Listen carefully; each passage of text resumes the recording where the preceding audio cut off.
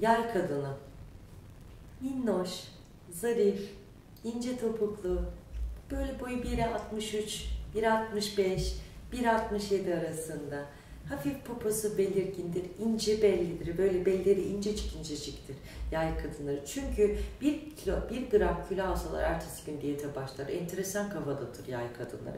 Yani onlar çok yemeğe düşkünlerdir. İnanılmaz yemek düşkünleridir. Yerler yerler her gün diyet yaparlar yay kadınları. Böyle bir özelliğe sahip. Ama gerçekten onlar da avukat, savcı, hakim, yani doktor, yani bunların enerji yapıları buraya çok uygundur. Çünkü disiplin ve kuralları olandır. Ve insanları gerçekten öğretmek ve anlamak isteyen bir yapıya sahiptir. Öğretmen, akadis, akadis, akadis, olacak. Akademisyen. akademisyen enerjileri çok fazla var. O yüzden yaylar e, evi aileden gelen bazı mutsuzlukları hiçbir zaman iyileştirememişlerdir. Hep çocukluğunda kalan takıntılar oldukları için yaylarda hep bir aileye öfke, geçmişe öfke yaşarlar. O yüzden doğru ilişkiyi ararken hep sevgilerini iyileştirmeye çalışırlar ya.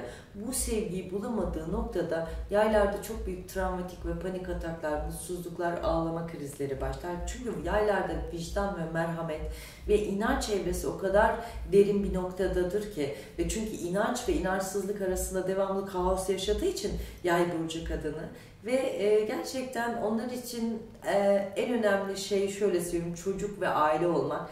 Genelde yaylar çok geç evlilik ve aile hayatı kuruyorlar ve sonunda mutluluğu yakalıyorlar ama onlar ev evleri genelde e, baktığım zaman otantik yani antika merakları vardır yay burçları böyle özellikleri vardır.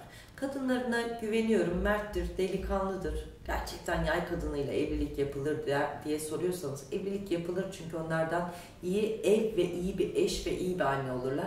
O yüzden yedikleri de yaptıkları da uygundur. Zaten pıtık pıtıklardır.